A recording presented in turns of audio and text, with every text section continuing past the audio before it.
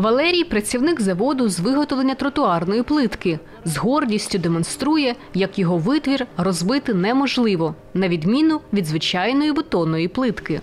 То ця ж не розлітається. Сильніше. Складники такої міцної плитки несподівані: 70% річкового піску і 30% пластику. Його отримали з розплавленого поліетилену, пакетів та кульків. Такий практичний спосіб утилізації відходів вигадали в Іллінецькій ОТГ, що на Вінниччині. Тут не просто запровадили сортування сміття, але й почали розумно переробляти відходи. Важиться лише вона на цей. Як? На віса, все по вазі. І прес. Ну, там пів хвилин 30 постоїть. Якість. Воно сокира відскакує від неї. Не розбивається, не плавиться на сонці. Запаху немає. Важко уявити, що ще кілька років тому на території заводу було сміттєзвалище, куди з 80-х років звозили відходи з понад 30 сіл Вінниччини. Коли полігон став переповненим, селяни почали створювати стихійні звалища довкола. За вирішення сміттєвої кризи взялися 4 роки тому, як тільки но створили Іллінецьку ОТГ.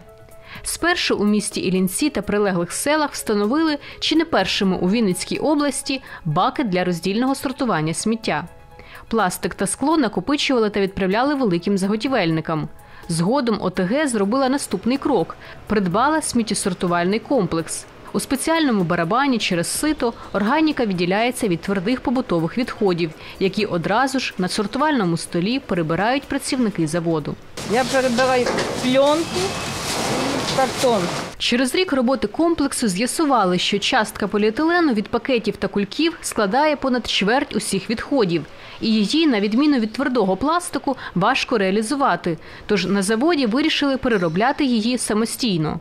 Технологію запозичили з Вінницького підприємства, яке з полімерів виготовляє каналізаційні люки. Якби не сніг, можна було б побачити, як виглядають викладені нею пішохідні доріжки в центрі міста. Екологічні ініціативи Іллінецька громада фінансує частково з власного бюджету, частково за допомогою обласного екологічного фонду.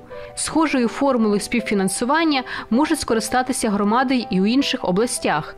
Це дозволить їм теж поступово вирішувати сміттєву проблему, вважають депутати екологічного комітету Верховної Ради.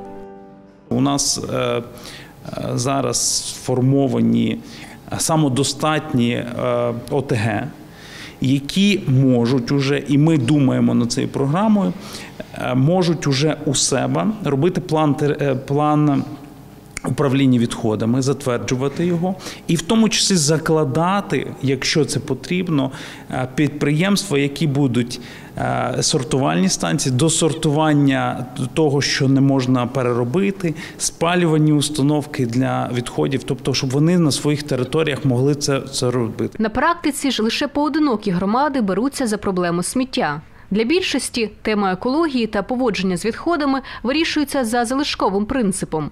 Так відбувається як через невеликі бюджети ОТГ, так і через низьку культуру поводження з відходами, кажуть в асоціації ОТГ. Аби це змінити, тут проводять вебінари та тренінги для голів ОТГ, на яких розповідають про успішні досвіди інших громад. Жашківська громада, це село е, Бузівка, презентував, яким чином вони в себе в населеному пункті все ж таки запровадили роздільний збір сміття. Як вони проводили просвітницьку роботу е, е, для учнів е, в школах, для населення? Тобто вони розробили магнітики на холодильники, людям донесли, тобто, де ці пункти збору, який колір контейнера, що викидати. І таким чином вони впровадили в себе в сільській місцевості такий роздільний збір сміття. За спостереженням асоціації, у багатьох громад немає навіть сміттєвоза, аби централізовано доставляти сміття на полігон. А досягненням уже вважається встановлення в селі бодай одного баку для вивозу сміття. Ті ж ОТГ, які вже почали сортувати відходи, зіштовхуються з проблемою економічної нерентабельності накопичення сировини. Адже вартість вторсировини не окуповує витрати на її зберігання і транспортування. Не просто заключати й договори на вивезення сміття із селянами. З цією проблемою зіштовхнулися і в зразковій Іллінецькій громаді. Це при тому, що ця послуга тут коштує лише 15 гривень на місяць з людини. Ні, люди не відмовляються, просто дуже тяжко заключити. Вони не то, що вони може хочуть, але не всіх фінансово це виходить. Зараз на даний момент заключено десь е, 60-70% з населенням сміття на вивіз сміття. Я рахую, що це нормально. Це не багато і не. Але в подальшому люди все більше і більше цей показник росте. Заключають, бо ми робимо свою роботу. Завдяки власному виробництву плитки громада економить кошти на облаштування тротуарів і вкладає їх в озеленення міста. Плитку не продають, спершу хочуть покрити потреби 33 сіл, які входять до Іллінецької ОТГ. Переваги розумного ставлення до відходів місцеві вже побачили наочно і не уявляють, як можна жити інакше. Дуже-дуже хорошо стало з комунхозом, що в нас чистенько, акуратно все приїхав, виставили, постійно забрали і красота. Сортуємо, Да. звісно.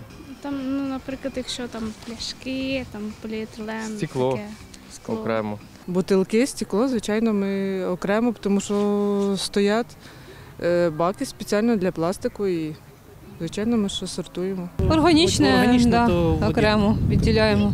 І це дуже добре для це для, як то кажуть, для нас це дуже добре. І переробляється все воно на Для якби е, в пластик вони роблять плитку для наших хілінців. Ну, люди приїжджають до нас, дивляться з інших ОТГ і ну, пере- переймають опит наш. Лише 20% сміття Лінецька ОТГ захороняє на полігоні. У планах громади досягти 100% утилізації та стати першою безсміттєвою громадою України. Тож у планах будівництво сміттєспалювального заводу та встановлення на ньому дорогих очисних фільтрів. Аби привабити відвідувачів і показати їм, що сміттєпереробний комплекс безпечний для людей і довкілля, тут навіть відкрили міні-звіринець з дикими кабанами, кроликами, косулями. А на місці стихійних звалищ, де вітер ганяв пластик і літали ворони, нині росте яблуневий сад.